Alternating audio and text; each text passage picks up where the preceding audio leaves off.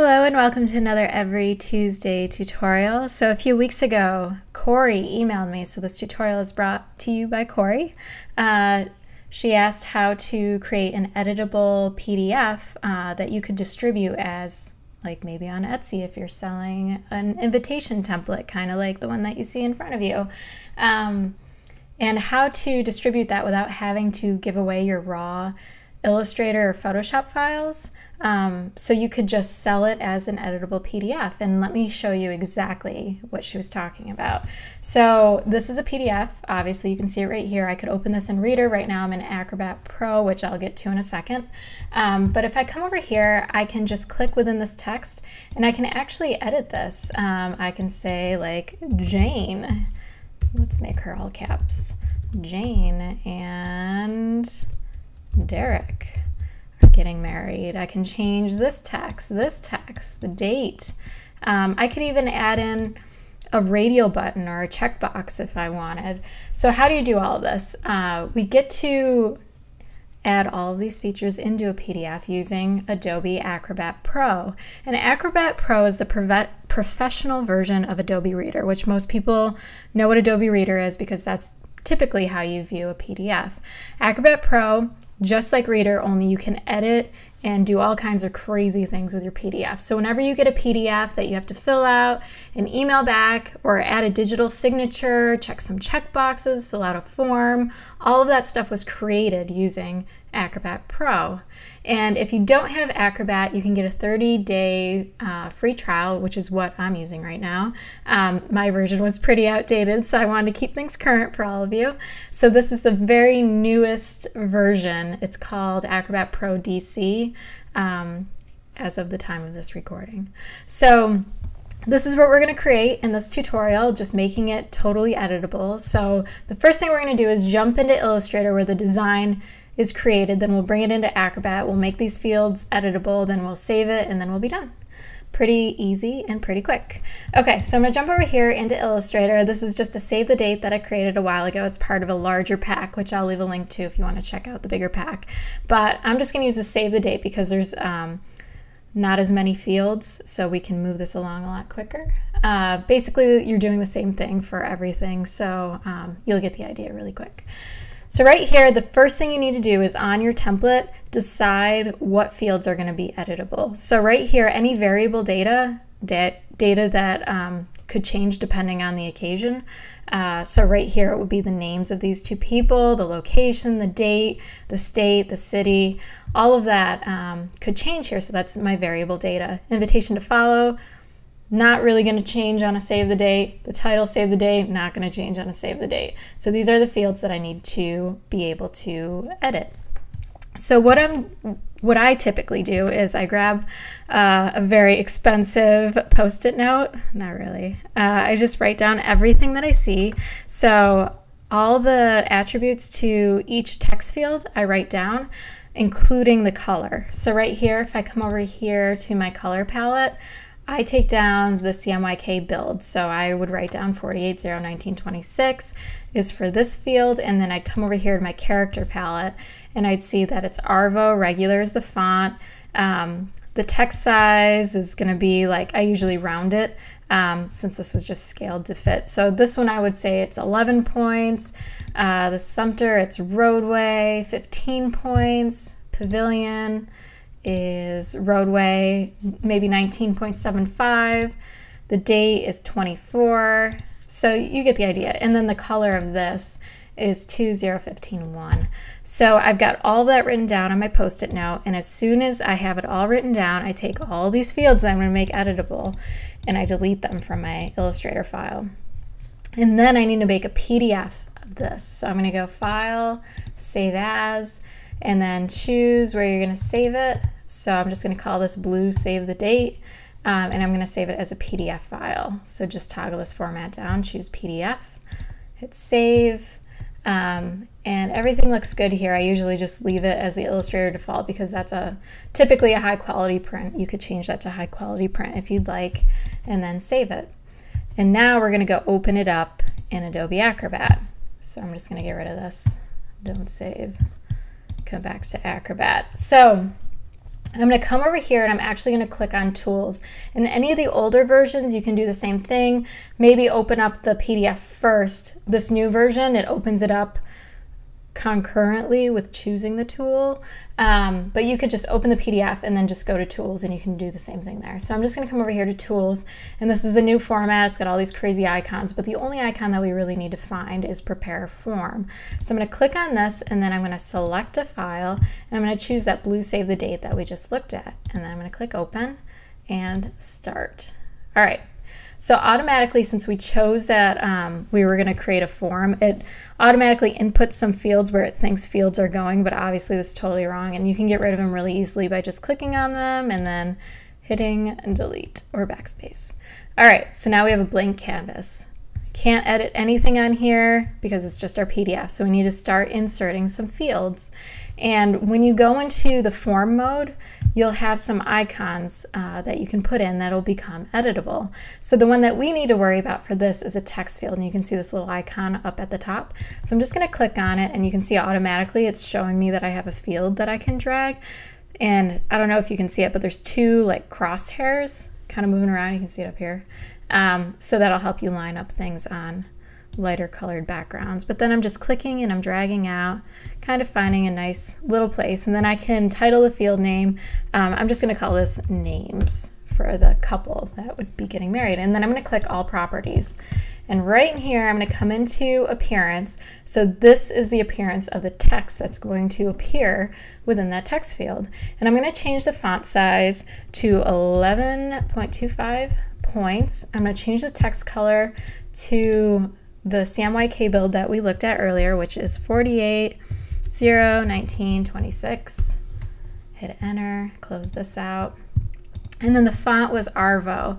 So whenever you're distributing this, say you did sell this template on Etsy, you would want to make sure to include a text file that just tells the recipient that they need to download specific fonts before they open the PDF. That way the fonts appear correctly within the PDF. Because if I use a font that's specific to my machine, like say I bought a font or I downloaded a free font and I used it on the template, when the person downloads the PDF, they don't have access to that font. They have it they have to have that font installed on their machine in order for it to show up properly in their PDF. So I would just include a text file and say, hey, you can pick up the font here. Here's a link where you can grab it. Make sure it's installed before you open the PDF. So all that said, um, I'm going to grab Arvo right. Arvo. I've got a lot of fonts on here. There you are. All right, Arvo.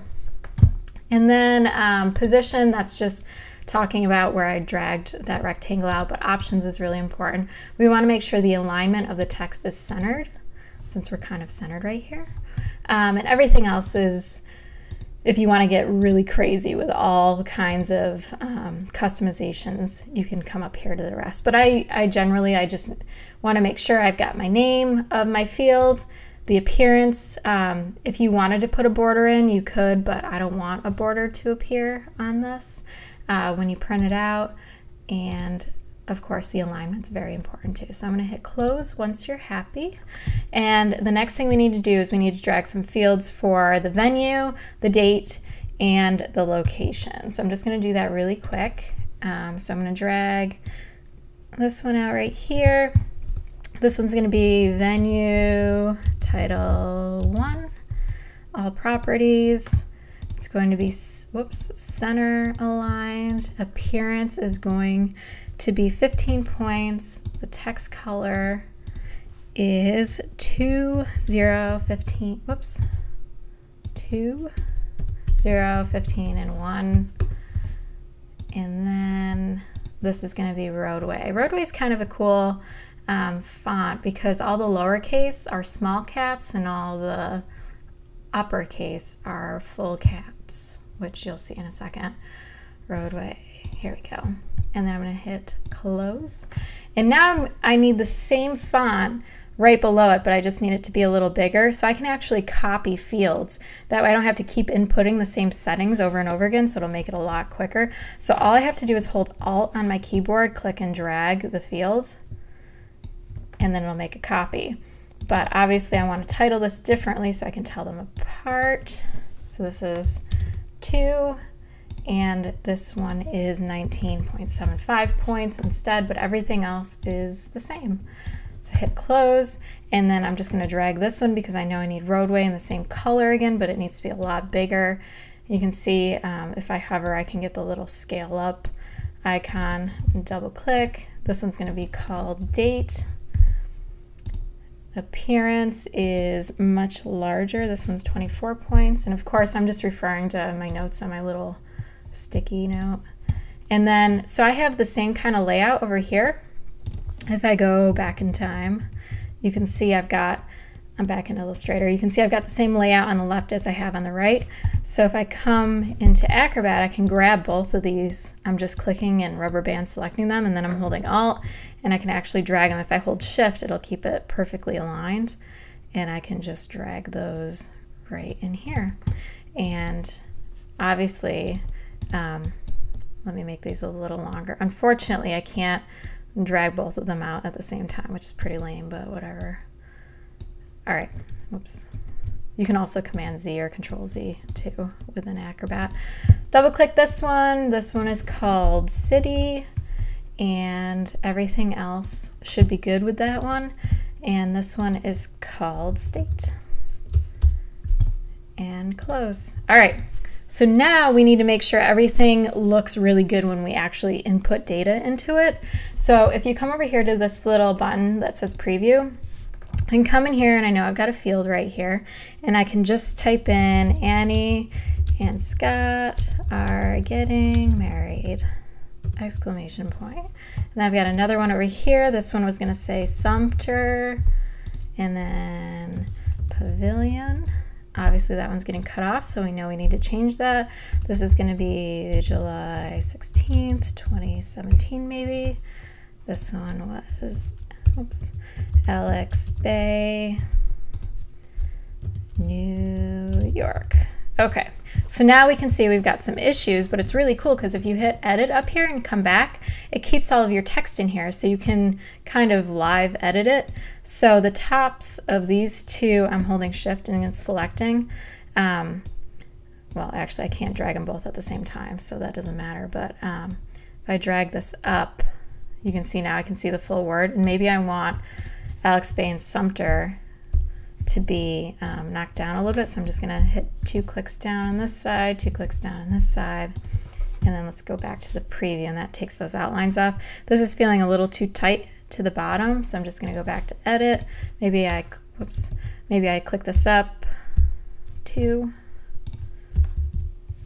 go back to preview. And that's looking very, very close to the original and it's fully editable now.